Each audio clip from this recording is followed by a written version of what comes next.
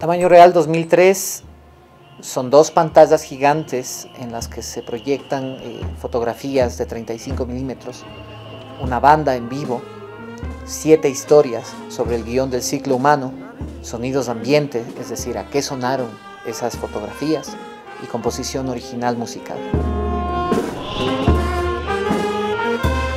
El proyecto parte de un guion que trata sobre el ciclo humano.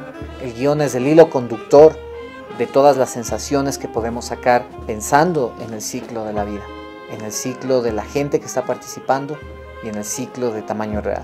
Para hacer este proyecto invité a la gente que está de alguna manera haciendo trabajo de avanzada en el Ecuador, tanto a nivel fotográfico, músico, de armaje y de puesta en escena.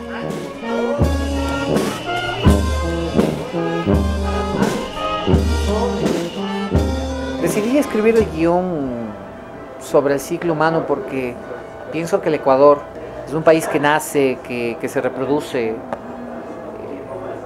en todos los ámbitos y que muere cada vez que puede para volver a nacer.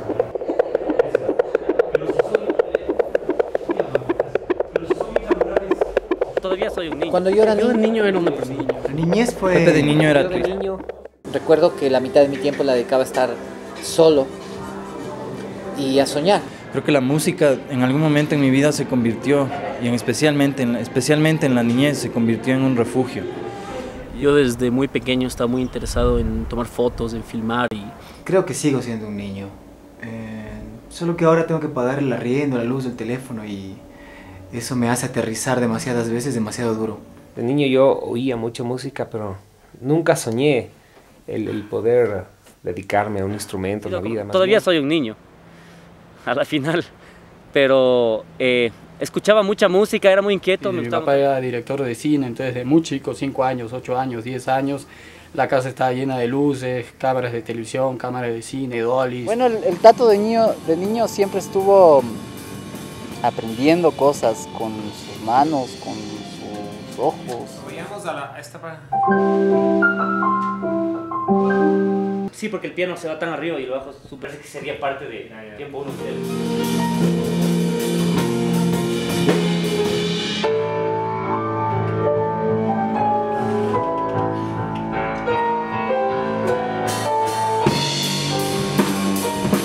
Es gente que está trabajando en, en lo que es buscar el estilo de hacer fotografía, video, teatro música en el Ecuador.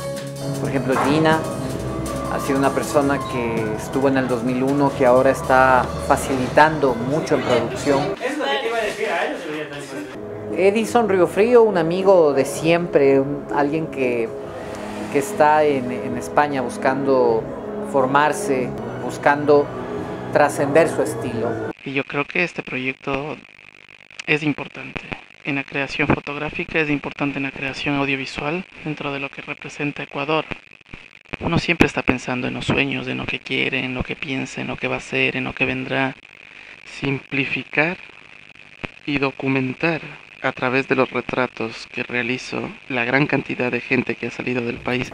El Pepe es una persona mm, muy dedicada, muy, muy estricta en lo que hace. Como cuando uno regresa a ver al sol y de repente cierra los ojos y se queda con un montón de puntitos de colores. Creo que es más importante capturar el momento, capturar la emoción de la música. El sueño más grande que creo que tengo, poder decir, esa obra, esa obra es mía. Eso que estoy oyendo ahí, eso de alguna manera me refleja. Mis colores siempre van a ser muchos. Martín Bernetti tiene un proceso en, en fotografía de prensa, pero en eso él siempre ha estado buscando cosas, cosas nuevas. Hace 15 años trabajo en el fotoperiodismo, que es mi pasión. Me gusta el proyecto porque me encanta eh, combinar eh, la fotografía con la música. Y pienso que Los Migrantes es un buen tema para reflejar la, la realidad latinoamericana. Mi meta que está en el futuro, la primera que tengo, es este, sacar mi trabajo afuera. Frank Johnson es eh, muy experimental, tiene mucha ansia de, de- de abrir camino. Parece también una excelente oportunidad para estar al lado de los mejores fotógrafos de, mi generación. Eh, estoy muy honrado y muy contento de que me hayan considerado eh, para la parte de la muerte, porque como te digo, justamente mi, mi trabajo ahora eh, tiene que ver mucho con la violencia. ¿no? Creo que tengo bastantes sueños, lograr que mi obra artística sea conocida a nivel internacional. Calle Turralde es uno de los mejores jazzistas, un buen compositor me gusta la experiencia porque me inspira de diferente manera, compongo diferente música. Cualquier cosa que haga, así sea, sea mecánico, sea taxista, ingeniero, no importa, que de alguna manera llegar a tener un impacto en, en lo que haga. Trabajo en muchos colores al mismo tiempo, o sea, puede ser oscuro y puede ser en el mismo tema, la respuesta inmediata del tema puede ser muy clara. Raymond Rovira es muy serio, es un gran pianista. Para mí tamaño real significa sumar mi experiencia como músico y compositor a la experiencia de otros. Mi música en esta obra trata de transmitir las experiencias que yo siento al ver las fotografías. El, verde es eh, primordial, el verde predomina en todo, en todo el ambiente, en todo el paisaje.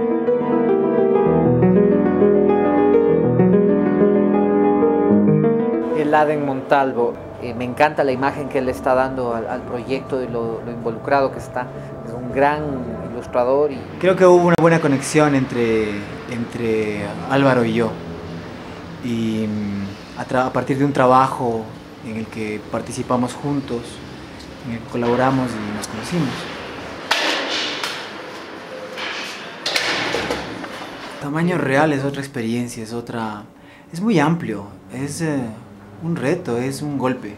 Lo, chévere de, la edición de esto es que tú creas sensaciones en el espectador. La banda en vivo nunca lo va a hacer igual una presentación que otra. Y la proyección de las fotografías tampoco es igual una presentación que otra, ¿no? Pero el hecho de estar en vivo, yo sin ser músico me hace parte de una banda de músicos y eso es bacán. Dicen que los hombres no deben llorar. Sí, lloramos, bueno, yo empiezo estudiando música básicamente a los seis años de edad.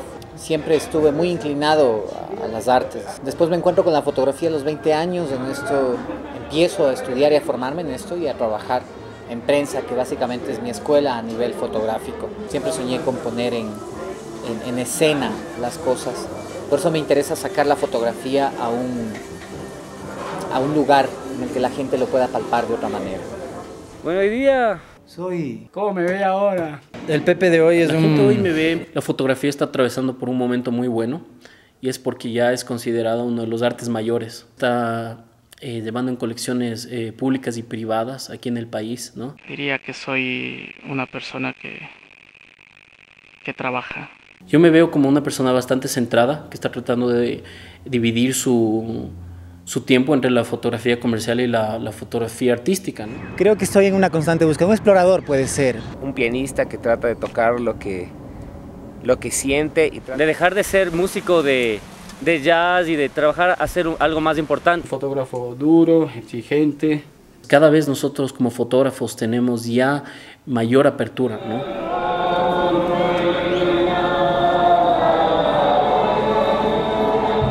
El Ecuador es un es un lugar mágico.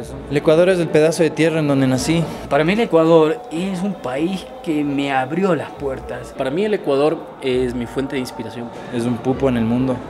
Una riqueza cultural muy grande, ¿no? Es mi país que está saturada de historias. Gente que tiene costumbres parecidas, que tiene todo lo que muchos países no, ni siquiera tienen, ni siquiera sueñan en tener. Con una, una diversidad increíble. Hablo de geografía, hablo de gente, hablo de, de, recursos. Debería tener mucho más amor por lo que es. Que trasciende las fronteras por, por su dignidad, la dignidad de su gente. Yo siempre estaría agradecido porque acá hice lo que siempre me gustó hacer. Forma parte esencial de América Latina. Ecuatorianos somos los que tenemos un Ecuador dentro. Quisiera verme de viejo. Me veo de viejo, de, viejo. Yo me, me imagino de viejo. Quisiera tener de viejo es los ojos tan abiertos como para poder entender esa gran vasta experiencia que gana uno con la edad. Me veo escribiendo, me veo dirigiendo y si Dios quiere, me veo soñando. De viejo yo me veo igual, o sea, haciendo fotos y tratando de tener una obra siempre fresca, siempre vanguardista. A mí cuando, cuando envejezca puede ser que tenga arrugas y el pelo más claro. Me veo de viejo tocando el piano. Que mi trabajo haya servido a algo. Solo. No me gusta la idea. Espero que no sea así. Y tener eh, tanta sabiduría de, de, de, la vida que, mm, que eso sería lo, lo, más importante de la vejez. Me gustaría morir sin darme cuenta o, o dormido. Es un paso hacia algo mejor o peor, pero es un paso a, es una evolución, siempre, y eso implica muerte. Llegar a viejo satisfecho, satisfecho con lo que con la obra que eh, habré desarrollado. Generalmente cuando aquí hablamos de arte o de hacer procesos o proyectos, decimos que es muy difícil. No es un punto de partida pensar si es o no difícil. El punto de partida es si podemos vivir sin hacer eso. Eh, yo veo el proyecto eh, como un reto. La, la fotografía está espectacular. El amor consume, el amor es pura energía. Y creo que este proyecto está lleno de eso. Me parece que va a tener mucha acogida, le va a gustar mucho a la gente. Me imagino que va a ser lleno de gente, lleno de, de caras sonrientes al salir o de lágrimas en medio de la oscuridad. El tamaño real del 2003 es un lugar maravilloso de sueños en el cual nos desnudamos como intérpretes y como artistas. En este video usted esperaría ver la obra, pero a tamaño real hay que irlo a ver, hay que vivirlo.